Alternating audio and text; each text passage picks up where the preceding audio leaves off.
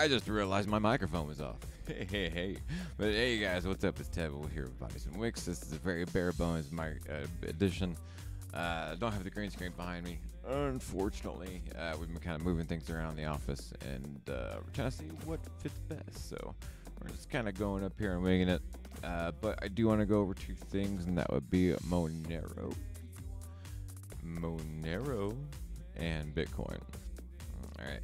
Uh, just because I posted ideas about these things, uh, uh, you know, probably a couple weeks ago, and uh, it seems like they're well. uh, At first, what I thought they were going to be doing is was going to come true. It's kind of around that area, but a little bit lower than that area. Uh, but I think that the next areas that I called are actually about going to be spot on. Um, so it's going to be interesting to see play out. So um, again, the Smart Money channel. Uh, if you are the type of person that trades off trend lines, triangles, bear flags, bull flags, all that kind of retail mumbo jumbo uh, that confuses a lot of people because you usually lose at it most of the time. Um, then this is your other option, basically, right? Uh, your other option is smart money, which basically doesn't go off any of that stuff, and it goes off of price action.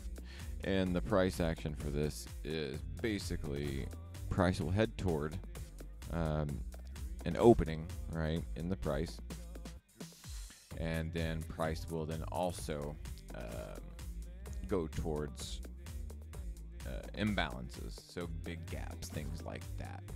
Uh, gaps that have been made, you know, uh, for that, you know, let's say it's been consolidating for a while and it makes a short low and then it makes a huge high and then it makes it a little short low. There's going to be a big gap in that big high, right? So, um, and it can it may continue up for a little bit, but then eventually it'll come back down to that area to where it did make that gap. So, uh, that's kind of things that uh, we look for in smart money, and so uh, that's what we basically want to talk about. All right. Um, so if that's the kind of thing that you you do like, um, I think this is the one I hit. Again, I just had to create new scene, so I would say like, subscribe, and share. Right.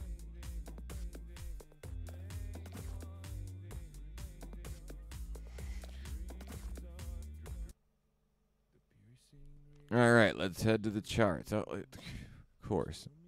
Even though the charts I already put up there, they're not up there right now. But we can get them up there.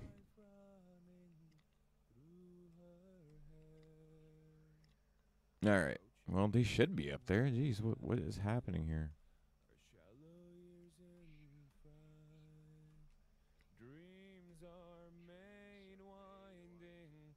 Okay, something's wrong. There it is. Okay. I just had to click on something else and then click back on the chart. And then it showed up. Jeez. This thing is ridiculous. Okay. So, first we are on BTC. And what I did in the very original call that I had was somewhere around, I think it was like 26 or 24, somewhere in there. Um, I don't know. To be honest, I, I wanted to not give you guys bad information. I want to give you guys good information. Uh, let's check out exactly where I called it. Know, I don't want to be lying to everybody and be like, "Oh man, I called this right at 1900." No, I, I'm not that type of person. Um, okay, so I was 24 one to 1980, or 19,800, right? Now I was saying Bitcoin would reverse here. And if you do this, this is actually what happened. Right, so it's in that reversal point right now. However, if we go back to Bitcoin, what I'm seeing is that monthly fair value gap that's just below it. So this was a full month of an imbalance that it wants to fill. Generally, what will happen? It may fill all of it. It may only get to halfway through. I don't know. Um, but uh, once it does get to one of those, right, um, then generally it'll pop back up. So I would actually maybe even draw this down a little bit further to give you a little leeway.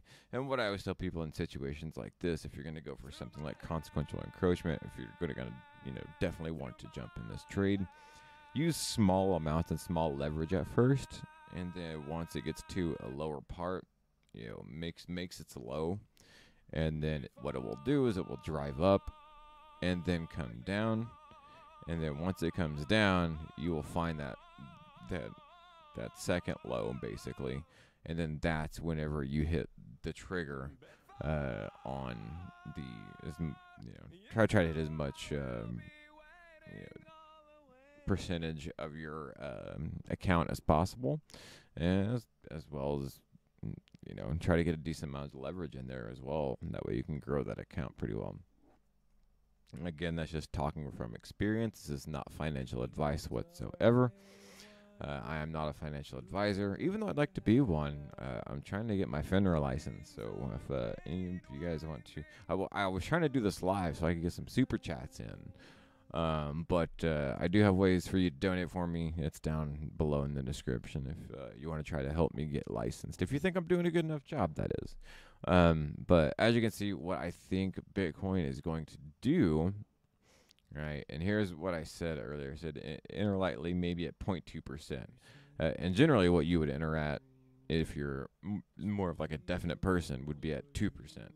And why I said 0.2 here? Why? Because it, once you get all the way down here, from what 24, 2100 or something like that to 15,000. Oh man, that's a huge like what 40 50% something like that like just on leverage. So you got to be careful on those. But it, it, if you put in a small amount, you know, it could still, you know, take it down pretty good. But, um, but what I drew today, earlier, and placed um, within that same trading, right? So, uh, I made a mistake here and was like, "Oh man, dude, this thing's gonna jump up. It's gonna do something." I said the next stop's 40k, and then of course it came back down, and I was like, "Okay, I see what's going on here." So I kind of gave you the whole four-hour thing, and I said, you know, if it hits that one-hour block, that would make sense for it to run up, but then that would also make sense for it to run up, and then also back down because people wouldn't expect it, and that's what smart money's about. It's about you not expecting it. It's about you reading this chart and going, okay, it went below discount price, hit a one hour, you know, hit the bullish order block or you know consolidation or something like that or whatever kind of retail language they use. I don't even know. I don't know do retail anymore. Um, but to us, it's you know it went inside a four hour fair value gap, and then boom, it just ran straight up above, and it it broke that liquidity right there those equal highs. So it broke that liquidity right there.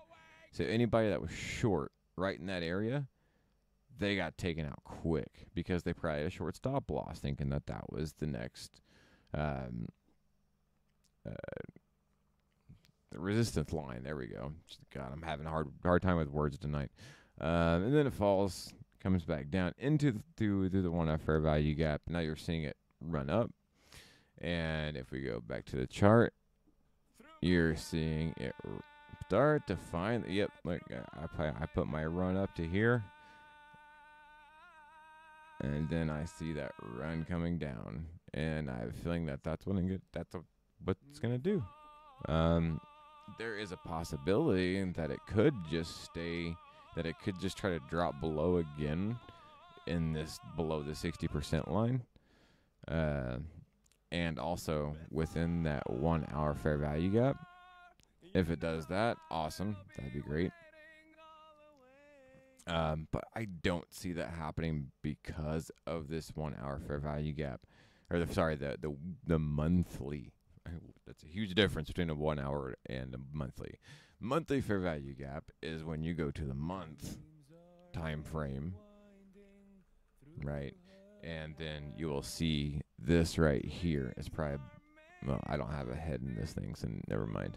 Um, but you will see here between this wick and this wick, that is your fair value gap. That is a gap that is created on the monthly, right? Now, once you get into smaller time frames, you will see that there are also different, uh, you know, four hours, you know, time or fair value gaps and one hour fair value gaps, things like that. But s- larger time frames trump smaller time frames. Always remember that. Always remember that larger time frames trump smaller time time frames. So that's when I always look at these taller time frames, and uh, you know, it could. I don't think it will, but I mean, what I think it's probably gonna do is actually get down to the bottom of this thing, um, because if you, I mean, man, see that this spiked so high that a lot of people probably thought it was gonna stop here, and it kind of consolidated and dropped again, right?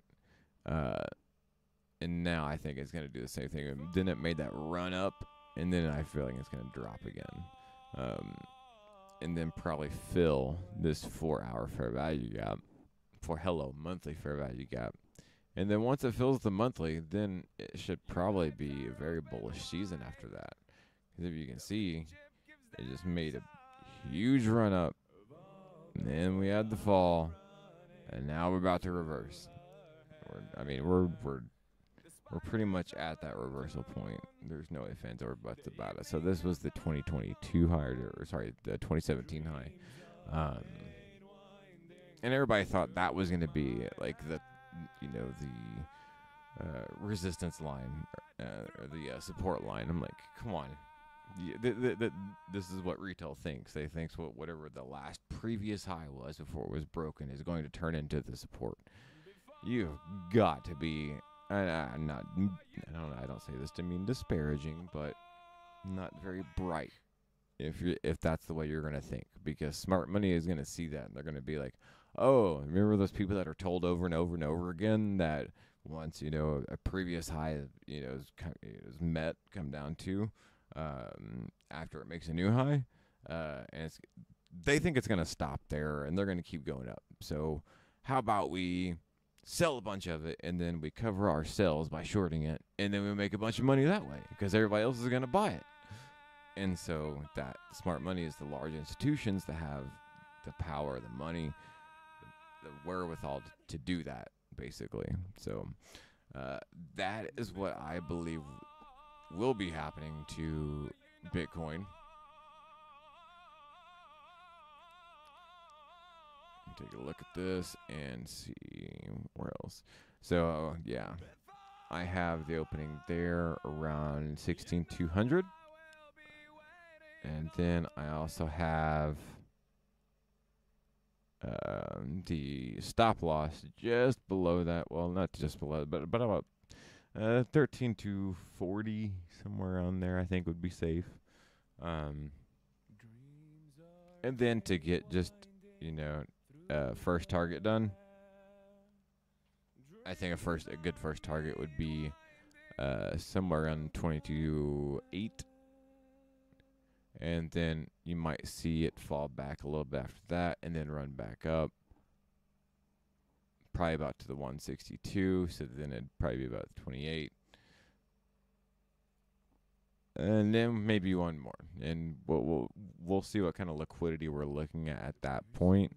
Uh, but definitely the the current liquidity area that it's created has been right around here. This this 22 number around around 21.8 somewhere around that.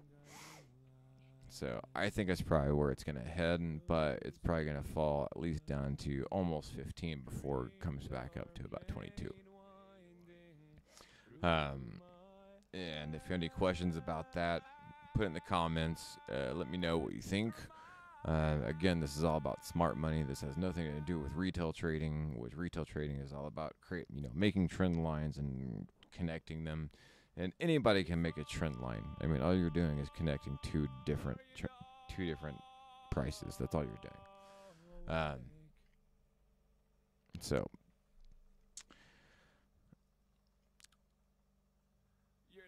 And I have a feeling this one's gonna, re- and you, see me drop this one low, run this one up, and then drop it low again because I have a feeling that's what's gonna happen. Uh, they're gonna drop it below this sell side liquidity, and when they do, they're gonna do it hard because that sell side liquidity is going to act as a basically a retail uh, support area. And so retail is going to see that as support. And then once it drops into that area, it'll probably be a little bit slow moving, but then all of a sudden it's going to drop hard. So get prepared for that is, is, is what I'm, I believe is going to happen. And then as soon as it gets down and it won't hit qu- consequent encroachment just yet, it may, it may, but it, you know it'll get close to, and then it'll pull back out really quick to get people thinking, okay, it, it you know it made its low now, now it's gonna run back out, and then it's gonna psych people out again and drop and make another low. That that is a classic, classic uh, smart money move, and that creates what we call a breaker, right? So you would have a low high lower low scenario at that point, and when you have a low high lower low scenario, uh, then basically you have a breaker all the way across, and then what would happen is I will draw another path here really quick. Okay, so that low high lower low scenario, so this would be one of the lows, right? Well, it didn't even didn't even stick. Oh no! All right, this would be one of the highs, or the high, I should say. And then this would be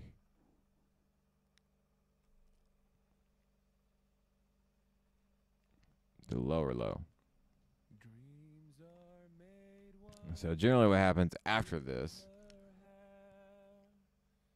is that I will come up, bump this, come back down a little bit, and then almost make like a straight shot up through it. Maybe like do like a quick jab there, and then come back down, and then use this as support. And then once that is used as support, you should see it come up and probably break these here. So come up here and pull back down a little bit, hit that area right there where all those three are lined up, and then come up and break that manufactured liquidity that is above. Right. And then once it does that, boom, boom, and then you have all these drops over here, right? So four hour they kind of connect, so there's really not much of a of a fair value gap there. But if you were to go to the daily, that's a completely different story. Now you have an area that's from right here to right here. That's a daily. So that's the area that it would be looking for. It would be that area right there. So that's what I think right now we're looking at as to what Bitcoin is going to do. Now let's go ahead and head on over to XMR. No, I don't need to connect. I don't know what this is. Okay, so right now, uh, if you watched my Thursday's video, this is what I was predicting as the white line. As I was thinking, okay, uh, it came up, or you know, basically had a couple different points of interest. Um, it hit a bearish order block, dropped down, right, and then what did it do? It broke the structure breaking the structure, meaning this low right here that's uh, listed at around 110.46. Right, so it broke that, closed below it, and then it hit this what I call false support, right? Because you have one one low around that area. Now you have two, three, almost four lows around that area. A lot of people are going to be thinking that is a support line. Well, that's what smart money is all about. They do that on purpose to get you to think that it's support. Whenever, if you actually look over here, you actually have a four hour fair value gap within that false support. And now, what does price do? Price goes toward liquidity and it also looks to fill gaps. This does both. That's why I think this is really going to head low. Not not extremely low, but low enough to where people are not going to expect it. Uh, they may think it could come down to the break of structure. You know, um, I'm thinking retail is probably going to think it's probably going to hit this false support and then probably go back up the other way. So you're going to see a lot of liquidity being dumped in this area right here, right around 107. And then a lot of it being taken out probably by the time it hits, you know, uh, because these people are probably going to be so confident themselves that they're going to throw up three lots, right? They're going to throw up three lots, and after they throw up three lots, uh, they're going to, um, you know, leverage it at nine times, and they're to, you know, only allow for like a two dollar stop loss or some crap like that. So, um, instead, what I'm banking on is it actually dropping down into the whole four hour fair value gap, right? And then once it drops down into the whole four hour fair value gap, it will drop down. I don't know if it's gonna drop down this low. I I have that there just because that's the 88.6. But if we're looking, it, it could because that is the last fair value gap, or sorry, the, the last bullish order block.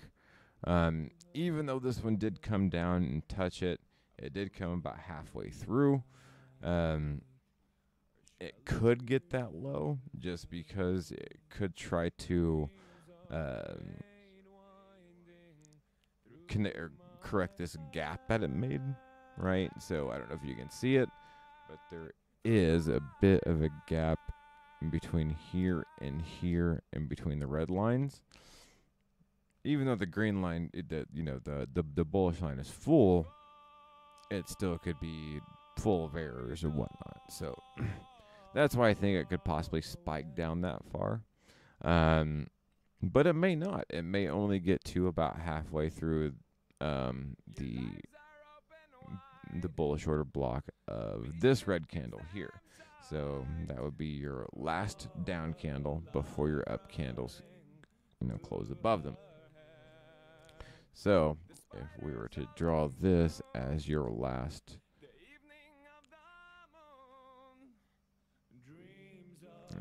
change the colors on that really quick. Do a little quick border of red. Okay. And then do text. Um, bullish. I should have shouldn't have done red. I should have done green. Because green means it's gonna go up.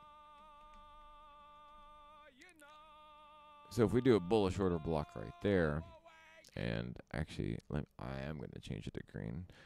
I'm gonna be that guy that's gonna change it to green.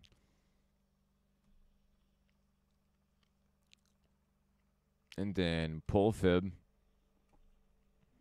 And pull a fib from the body, right, of the of that that candle. Right? And it's the four hour candle. So if you do that, then what you would be expecting is well, don't even worry about this white path because it's not going to happen because uh, it went up instead of down like I thought it would. So it went the opposite way. But, however, I think what's going to happen is that it's going to drop drop from here. And the reason I think it's going to drop from here on both charts is due to what we call the um, the weekly formations or uh, the weekly um, can't think of the word right now.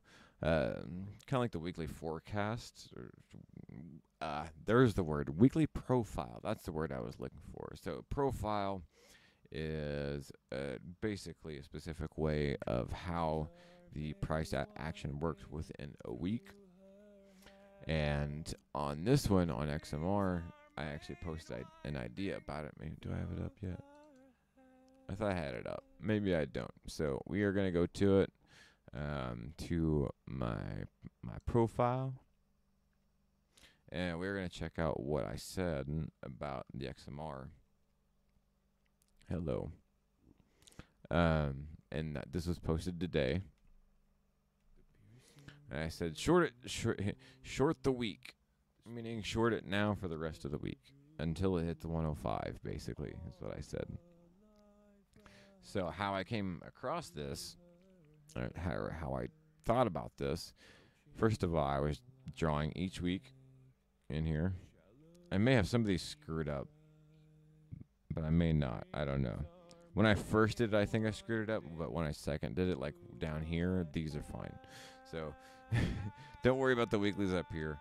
Uh, they may be a little bit messed up. Um, I think I was looking at some of July's numbers and some of June numbers wrong and getting them crisscrossed, but whatever.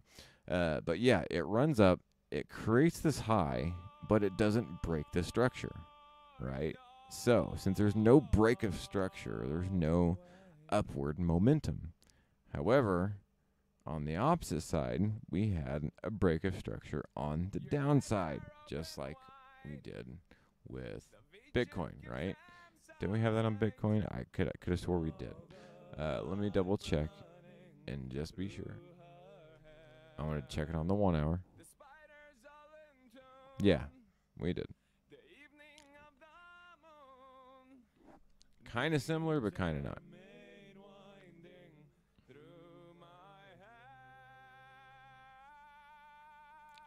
Not pulling down. There we go. Okay. So you have the break a structure here, all the way across, hitting those three lines. Then eventually moving up, going, you know, then it consolidated here for a little bit. And I think the reason it consolidated there would have to do with this fair value gap. Uh, that was on the four hour. Um, so it made sure it wanted to completely close that gap, by, and it just did it by consolidating right through it. And then once it got to a point to where it was going to try to make a decision of where it wanted to go, boom, ran up. And oh, I think it did break structure. Sorry, I did not notice that before. Okay, so it did break structure, but it didn't close. That is the main thing. It needs to close above these highs. But it did close above the previous close. But I don't think that's what's going to make the difference. It, re- it really needs to. Yeah, and this is the four hour too. It needs to close above these, these previous highs because you can see as soon as it, you know, you get one, two candles above it, it reaches up into this right here, which I believe is a one hour fair value gap. So it reaches up into this one hour fair value gap and then boom, starts dropping again. So I think that's what's going to happen. We're going to see a large drop. You have a large fair value gap right here. Boom. I mean, and just from the points that I drew, were all points pretty much based off that fair value gap. So it could hit the bottom of the fair value gap, run back up, and then while it's running back up, uh, it could hit a bearish order block and then drop again, and then come in and fill this four hour gap, and then try to drop down all the way down to 205. I think is where I have my limit set, uh, somewhere around here. Now I could try to. I when when I say it's you know it could try to jot down to these areas. You know sometimes these charts have a tendency to you know pull back to the um, uh, the discount level, right? So the discount level in this area uh, would be. see I got a 100 here. I'm gonna get rid of all these because that just has to do with a breaker. Okay, here we go. So it's just below the breaker structure.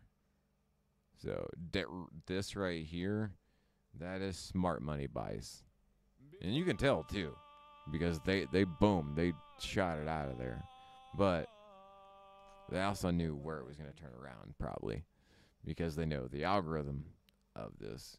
So whenever I saw this jump up today, I thought, okay, it's Monday. We still have you know five days of the week left.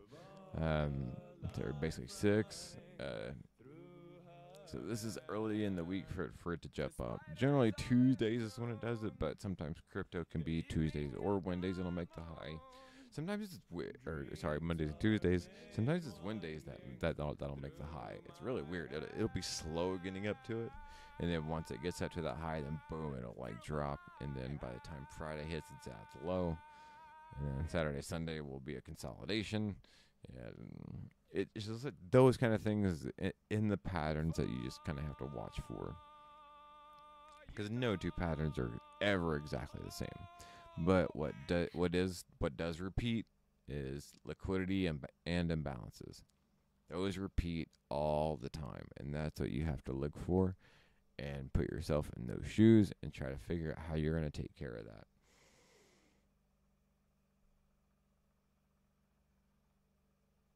Okay, so there we go. We have no break structure coming up, and then it should break this liquidity here, or the, there's this rejection block, and that should be it. After that, well, what I'm thinking, um, once it gets above this liquidity line, you do see a bearish order block right here. That last green candle, that's up before it goes down. So I'm thinking that could probably be the last. So around 138 is what you would be aiming for once you got down to about 105, which that's a very very large move. Um, but you just got to be watching it the whole time, make sure it's going to be going up because uh, what could be possible as well is that it could just drop. I don't know how far it'd go, it'd, it'd go down to. My guess it would it would be 88. Why 88? Um, those are just the smart money numbers that you know they end with. Anything with uh, two, five, eight, zero always always a smart money number for some reason, especially 80%, you know. So that's another reason why I kind of have these things drawing down to 88.6%, but I kind of think they're probably going to stay around that 79 80% uh, area. Just because that would be the entrance of that uh, bullish order block that we have right here. So, and I think it would, pr- to me, I think especially coming up from this area, dropping all the way down, as soon as it touched that bullish order block, boom, it's gonna, gonna ricochet right back out. But uh, I think that's all I got for you guys today. Thanks a lot for watching. Thanks a lot for. Uh, hopefully it was interesting. Hopefully it'll help somebody. Uh, if they, you know, if you do like these kind of things and you do want to continue watching, uh, again you're to do this. You're to like, subscribe, and share. Um, and, and, share with people that are trying to learn. You know that that are, are, confused about the whole retail theory. They don't get trend lines. They, they it doesn't work for them. Things like that. This is the thing they need to know because this is what really works. I I did the whole retail thing for a year and lost over I want to say fifteen hundred bucks in no time. I've been trading for three years now and it was my second year. I started learning re- uh, to to do smart money trading, um, which is all taught on forex and also taught on um, uh, indices. Um, indices, what was it called? Um, no, just the major indices, Nasdaq, in, indices futures. There we go. Uh, Nasdaq, all that good stuff. Uh, and then uh, once we learned all that, then uh, next thing you know, I, wanted to bring it over to crypto, and I brought it over to crypto, and it works like a charm because they all do the same thing. They all want to make you freak out at different prices and do different things at certain prices. But if you can understand how the people with all the money think, then you trade like them and then you get all the money too. So I actually went from a negative trader to a positive trader, um, and uh, and, I, and I still have a full time job. I'm a geez, I'm a supervisor level at a manufacturing job, so I work 12 hours a day. But this is my passion. This is my hobby. I want this to be my full time job in the future. Um, so this is where I always come to as my sanctuary. So thank you for being part of my sanctuary from Bodies and Wix. And for everybody out there, Always wear your pants.